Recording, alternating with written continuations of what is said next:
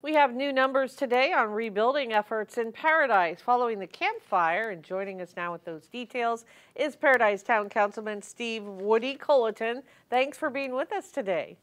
My pleasure. Good to see you, Linda. Well, I love seeing the progress being made on rebuilding more and more homes on the ridge. Uh, what kind of numbers are we seeing this month?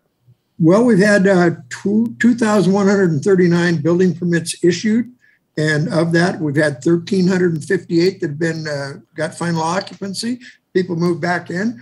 We had 536 uh, permits applied for for multifamily units, and of that, 263 have already been issued, and people are moving back into apartments in town. So the town is thriving. We're coming back. It is. Uh, you know, the the chocolate festival was a huge success last weekend, and you have a, a lot more community events coming up. What do you want to let people know about?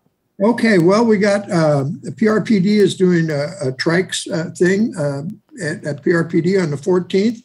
Uh, the Paradise Symphony Orchestra is playing on the 29th at the Paradise Performing Arts Center um, on, uh, I guess, Memorial Day, Veteran Memorial Day.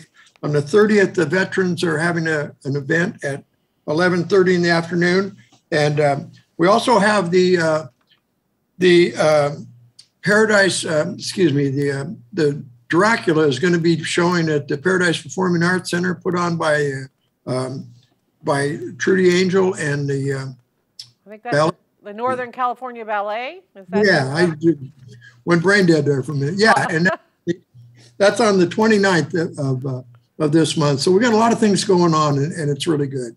It is, and it's really important, I think, for people to continue to show support for, say, the orchestra and the ballet. So many people displaced, and yet they are still coming together to carry on uh, and perform for anybody who'll come out and see them. Yeah, it's really great, and we're really fortunate that Paradise Performing Arts Center did survive the fire. Uh, the town is coming back. It's just it's a wonderful community to live in. Uh, we have a lot going on. We're in Sacramento today. The town manager and the mayor. Uh, with meeting with some people and, and taking care of some business and cleaning up some of the damage that's been done by some of the uh, illegal contractors that have been in our town. So we're we're fixing some of the problems we've run into, but things are things are coming back. It's just a great community to live in, and uh, we invite everybody to come up and visit us this summer and and have a good time in paradise. We got a lot of things. Oh, go ahead. I didn't want to interrupt you there. Yeah, a lot of things coming up. So we just invite people to keep an eye on our webpage, our town webpage, and and see what and plus through your through your local TV station, you you advertised a lot of the events that we have going on here. We appreciate that. Well, we're happy to do it, and uh, thank you so much for taking time out to be on the show with us today. Steve. Yeah, I heard you were a judge at Chocolate Fest, so I, that was pretty good, huh? I had a great time. Can't wait till next year. All right. All right. Thanks for being with us today.